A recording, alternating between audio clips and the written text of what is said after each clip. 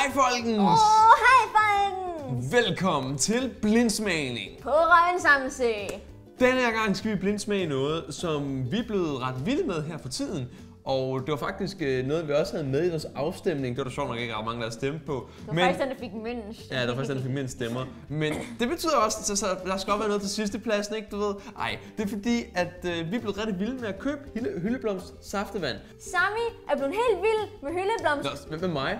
Jeg kan også godt lide Og begge to er blevet helt vilde med hyldeblomst, men vi kan ikke beslutte os for, hvilken hyldeblomst der er den bedste.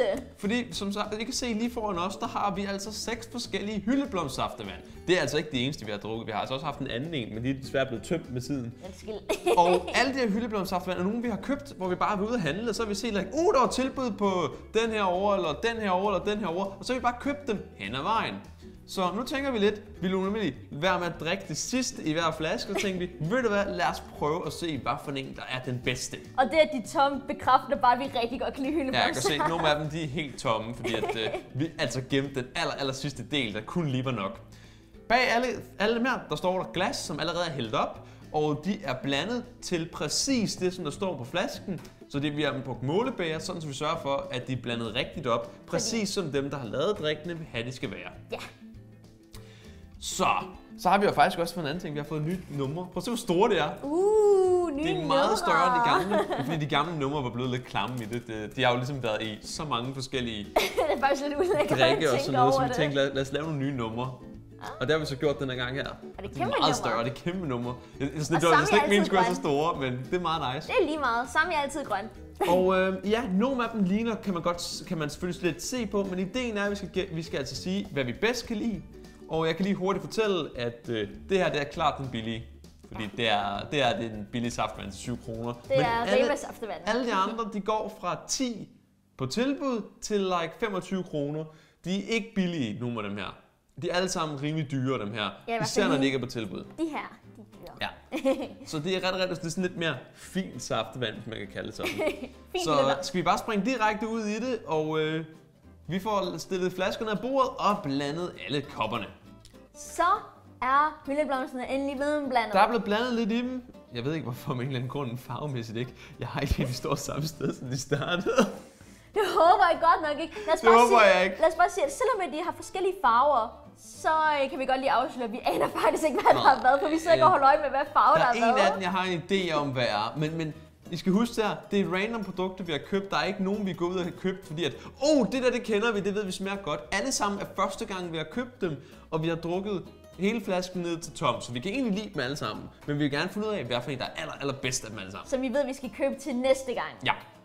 Så øh, skal vi bare springe direkte ud i det her og prøve at gå hule Skal Hvad sagde du? Gå hule bulla, eller hvad sagde du? Hule Skal vi prøve? Okay, ja, jeg prøver. Okay. Husk ikke at kigge ned. Jeg kigger ikke ned, jeg kigger op. Jeg gør det modsatte. Hey. Mm. Mm. Uh, du siger, uh. den, den smager ikke så meget... Den smager ikke så sødt, den der. Jeg tror faktisk, det er den grønne store flaske. Tror du? Ja, jeg tror, det er den der Bottle Green. Den smager, jamen den, det, det, den smager faktisk ikke særlig... Den smager ikke så meget hyldeblomst. Den, jeg synes, den smager meget hyldeblomst. Ja, det gør den. Den smager hyldeblomst, men den mangler lidt sødhed. Jeg mangler lidt sødme. Nu, nu kører vi Masterchef. Det er sødme, ja, det mangler lidt sødme, du ved. Den er ikke så, den er ikke så pikant. Okay, den, du, skal, du skal have mere syre, og du skal have noget sødme. det her bliver avanceret, kan jeg godt mærke. Det ligner ah. sådan noget vin, vi drikker. mm. Den der derimod, den er ikke lækker.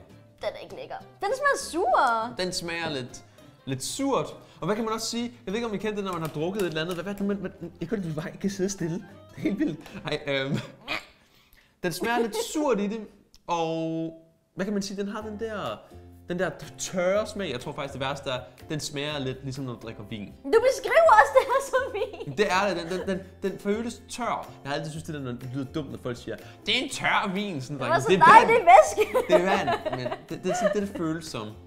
Det, det føles som. Jeg kan ikke lide de her beskrivelser. Det lyder alt for fancy. Jeg kan godt mærke, at jeg aldrig har drukket vin. Jeg kan heller ikke lide vin. Altså, jeg har drukket Den der ikke. Mm. Den smager af karamel. Åh oh, ja. Nej, den kan jeg heller ikke lide. Den er faktisk ikke særlig god. Den smager ja. karamel, den der. Og det skal siges, at tallene det er som i, at den, før, at den, der får nummer 1, det er den, der er den bedste, og dem, der får nummer 6 og 5, det er de dårlige. Jo flere point du har fået, jo dårligere er du. Den svære karamel, ja, du har faktisk ret. Ad, jeg kan ikke lide den. det er sjovt, at hyldeblomst har så mange forskellige smage. Mm, den er faktisk ret god, den der. Jeg synes, det er virkelig sjovt, hvordan hyldeblomst har forskellige smage. Den, den er faktisk okay god, den der. Uh. Den, er- Okay. den er meget mild i det. Ligesom Jeg det, synes, jeg, vil, mange- jeg vil forvente af en hyldeblomstsaftevand. Jeg synes, der mangler lidt smag. Jeg synes, den er sådan lidt kedelig på en eller anden Den er ikke så måde. kraftig, nej. Den der, den var sindssygt kraftig, men den smagte sådan lidt karamel. Ja, jeg synes, det var ikke godt. Og den der, den var decideret sur. Ja, det Jeg var sådan lidt... Indtil videre, så kan jeg faktisk godt lide den der. Den smager faktisk lidt vindruer, den derovre. Min bror. en hyldeblomstfælde. Den der kunne jeg nemlig godt lide. Oh, jeg vil gerne igen smage den. Den har også lidt det der surhed i der. Ligesom. Men jeg synes, det er en god surhed, fordi den smager faktisk af hyldeblomst. Hvorimod de andre nogle gange smager sådan lidt fake på en eller anden måde. Jeg ved ikke, hvordan man skal forklare det, hvis det giver mening. Uh. Den smager i hvert fald hyldeblomst, den der. Den er hyldeblomst. Åh oh, ja, Den er rigtig god. den er faktisk rigtig god. Uh. Den smager mega kraftigt, den her. Indtil videre vil jeg faktisk sætte den sådan der. Jeg, jeg, jeg hader, hvordan at de hellere vil vise siden, hvor vi har proppet øh, gaffatape på dem. det ser ikke særlig charmerende ud. Det her er den sidste, vi skal prøve. Nam, nam. Jeg kan godt lide, at vi er meget enige om de her to. Den smager bare vand, what? Ej, hvor den dårlig. Det er ligesom bare at drikke vand. det er som om, du har glemt at putte nok saft. Må, må jeg lige minde jer om, vi har blandet dem her præcis som der står på flaskerne. Og nogle saftevand ved I godt, hvis man blander det, som det står i flas- på, på det. Jeg ved ikke, om jeg har forældre, der nogle gange har det med sådan, at det skal kun så lidt i, hver- i, fla- i per, per liter. Så er du sådan lidt, nå, ja, det, det var lidt kedeligt. Ja, den, den er ikke særlig god. Det værste, jeg ved godt, hvad det er for en, den derovre. Ved du? Ja, Hvad tror du? jeg ved, hvad det er, fordi det, der skulle have været mere i den. Oh. Det der, det er den for Rema. Det er derfor, den er dårlig. Det kan jeg allerede sige nu, det er den fra Rema. Ved du hvorfor jeg kan sige det? Fordi jeg blandede det, som der står på flasken. Og de der flasker, du køber, de der billige saftevand, du altid køber, de lyver, så bukserne flyver. Der står sådan, at du skal proppe 1 til 12. Det vil sige, for 1 deciliter. Øh, det er sådan, du får 12 liter drik. Det lyder så godt, ikke? Men nej, i realiteten får du kun 7 liter, fordi du er nødt til at proppe dobbelt så meget i. Ellers så smager det ikke af noget. Har du, har du flasken? Har, du- har du den der fra Rema? Ja, det har jeg. Så kan vi faktisk få den til at smage af noget, i stedet for... Nej, men jeg synes stadig, den er dårlig. Nå, du, du ødelægger smagene. Ups, det var lidt meget. Skal vi ved med det, bare finde ud af, at det ikke er Rema? Jeg er bare synes, den er en. Bare- Har vi bare dopet den helt vildt? Ja, nu er den alt for sød. Åh, hvor er den ulækker. Den er faktisk ikke Du kan dårlig. ikke bare dumpe den. Den er faktisk ikke dårlig. Jo, den er. Du er ikke dårlig. Mange tak. Nej, man kan godt smage den er billig. den smager meget af det der virkelig fake saftevand der. Uh, jeg synes, den begynder at smage lidt nu, efter jeg har drukket den, der var så sød. jeg synes ikke, den er så god. Ej, jeg kan ikke beslutte mig for, hvorfor jeg synes, den er bedst. Jeg kan godt lide den her saftvand herover, men det er ikke min favorit. Det er en af de to. Det er en af de to, der er klart.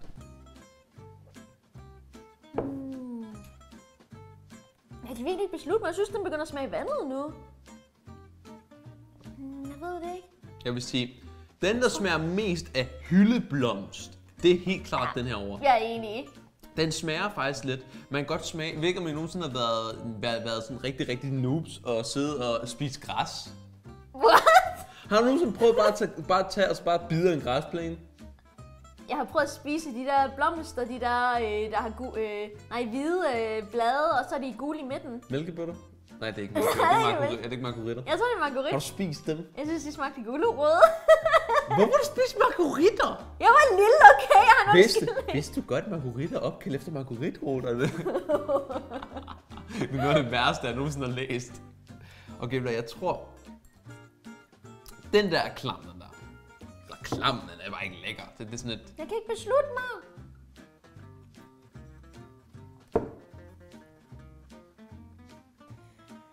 Jeg er ked af, at jeg skulle være enig, men jeg tror faktisk også, jeg vil sætte den på en anden plads, og den her tredje. Det er faktisk ret nederen. Det eneste, vi er uenige med, det er de der. Mm, jeg, synes, det, jeg synes, det er et meget tæt løb mellem den der og den, du drikker nu. Jeg synes, det er meget tæt med dem. Jeg har lyst til at, at give dem begge andenpladser. Nej, det er dine. Jamen, jeg har lyst til at give dem begge Jeg kan faktisk-. Jeg ved- kan faktisk ikke godt lide den der. Kan du ikke? Jeg kan faktisk godt lide den derovre. Når du kan godt lide den. Jeg kan lide Ja. begge. Jeg kan ikke Den der smager mere, end den her overgør. Synes du? Mhm, synes jeg. Jeg synes, efter at drikke den der, så mistede jeg al smag. Ja, du ved, det der billige saftvand der, det smadrer bare dig. det ødelægger ikke smag. Det, bliver nok også, det er nok også lidt svært, når vi sidder med så meget. Vi skulle nok have haft et glas vand eller noget lige til at skylle af med, eller sådan noget. Det måske have været en god idé. Ja, til ligesom at skylle alt det her, det her lidt klammer væk. Nå, Skal vi finde ud af, hvad det er, vi har fundet ud af i første omgang? Ja, fordi det her er med til at bekræfte vores fremtid for hyldeblomst. Jamen, de her to her, ikke? De er begge to nummer chok. De har 11 point hver, så det er, de, det er taberne. jo, jo. Hvad var Lad os det? se, hvad den første taber er. Det er... But... Wow, det var egentlig det første, vi havde købt. The Little Green. Den kunne vi faktisk godt lide, mener. Vi tømte den faktisk ret hurtigt. Ud. Ej, hvor sjovt. Er det fordi, den har stået for længe i køleskabet eller sådan noget? Altså, det er den ældste. Men jeg synes da slet ikke, den smagte sådan der. da vi- Ad, ja, jeg tror, den. Jeg Er den tror, blevet dårlig eller sådan noget? Jeg tror, den er blevet dårlig, sis. Jeg ved ikke, om der er faktisk på grænsen til at smage gæret. Er den blevet dårlig eller sådan noget? Men jeg synes altså ikke, den smager så sur. Bør nydes inden for en måned. Så det er ikke en måned siden, vi åbnede den. Det værste er, jeg vil så sige, selvom den har Ja, fået... den lugter også lidt... Er den blevet gæret? Jeg ved ikke, om den er blevet dårlig eller sådan noget, fordi... Jeg tror ikke, det kunne blive dårligt. Jeg mindes bevidst, at den her var ikke klam. Vi kunne virkelig godt lide den begge to. Jamen, det er det værste af det. Vi kan i hvert fald være enige om én ting.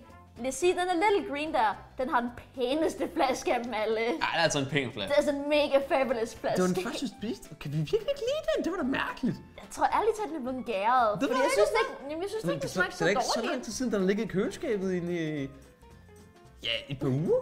Det var underligt. Nå, ved du hvad, den anden taber, den ved jeg godt være. Og ved du hvad, for mig kommer det ikke som en overraskelse, fordi jeg synes allerede, den var klam fra starten af. Du kunne godt lide den. Ah, det er den økologiske. Det er Fynbo. Nå, er det Fyn? Åh. Det hedder den Fynbo. Nå, du må ikke blive ked af det. Den var købt i Fakta for 20 kroner, så den er ret dyr en faktisk.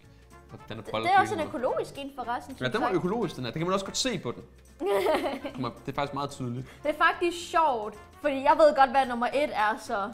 Jeg ved også For det er sjovt, det at de økologiske sjovt nok er dem, Nej. der har mest farve. Det, det er faktisk ikke en økologisk, det der. Er det ikke? Det tror jeg ikke, der er. Jeg tror godt, jeg ved, hvad det er. Jeg tror også, det er Jeg har en idé. Hvad, hvad, hvad, hvad, hvad gætter du på? Jeg Hvad gætter du på, jeg gætter på det er Rynkeby. Det gør jeg nemlig også. Det, det var ikke økologisk. Jo, den var.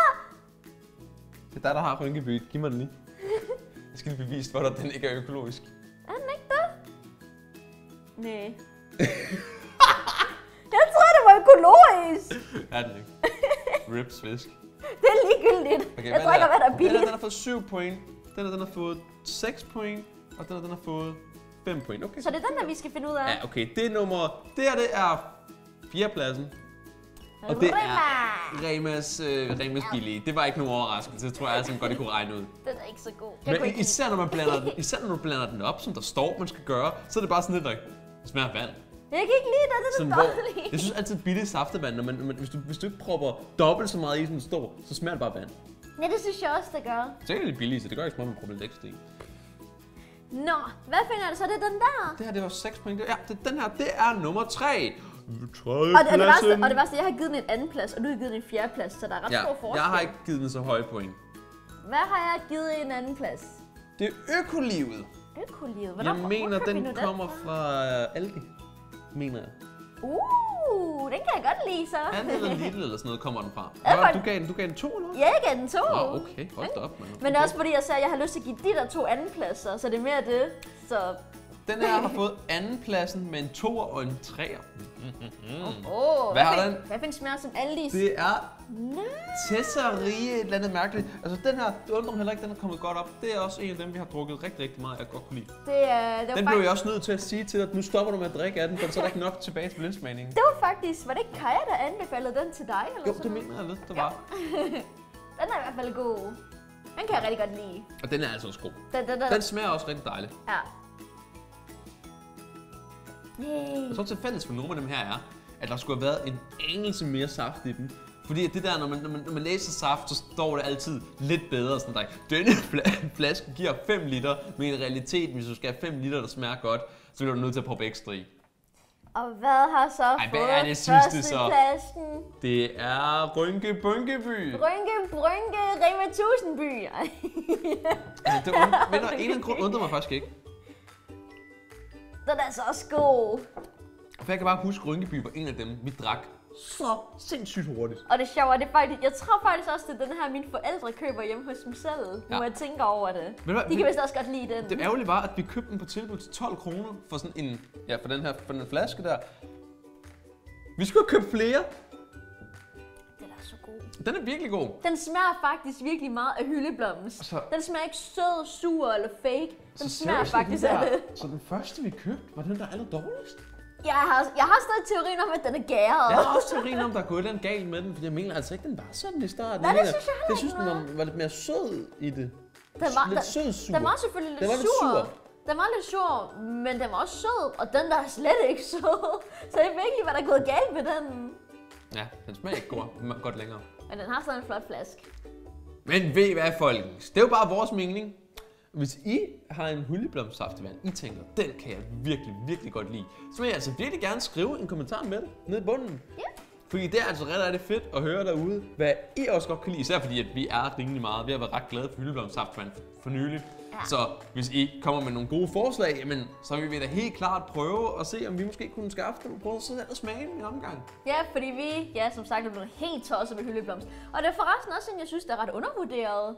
Ja, det, det, er ikke, det, er ikke, det jeg synes ikke, der er ret meget der, igennem hyldeblomst. Nej, hvad? Det smager rigtig godt. Det smager mega godt. Ah, der er, der er godt nok ret meget for tiden og sådan noget, men det, det, det er godt. Det er godt, det er godt. Og ved I hvad, hvis I har noget andet, I sidder og tænker, det der Robin Samson, det skal i blindsmag nu. Må meget gerne skrive ned i bunden, men lad være med at skrive, skal gøre det nu. Bare skriv det. Bare skriv Bare, bare om. kom et forslag, så skal vi nok se det. Så kan det også være, at vi laver en afstemning igen her på et tidspunkt. Ja, folkens, fordi hvis I godt kunne lide den her video, så må I meget gerne like den, for det vil gøre os rigtig, rigtig glade. Og husk også at følge os på Instagram, fordi der vil der muligvis være flere afstemninger, Ja. afstemninger hvor I vil have indflydelse på blindsmagen. Hvor I faktisk bestemmer, hvad det er, der skal blindsmages, i stedet for det er os, der bestemmer det. Ja. Så vi, vi, vi vil sige, folkens? Vi vil sige rigtig, rigtig mange tak for smået, og ja, bye bye!